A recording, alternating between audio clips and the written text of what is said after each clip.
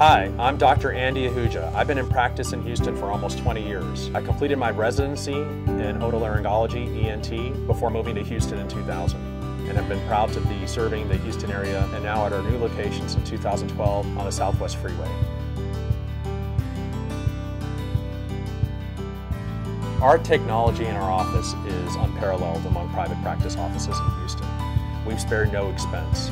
We have a CT scanner which can look at someone's sinuses within 10 seconds. We have everything under one roof. We have audiologists, we have allergy nurses, and we have the latest technology for balloon sinuplasty and other sinus procedures within our office. The most important thing for a patient is to know that, hey, this doctor has their goals in mind and someone they can trust.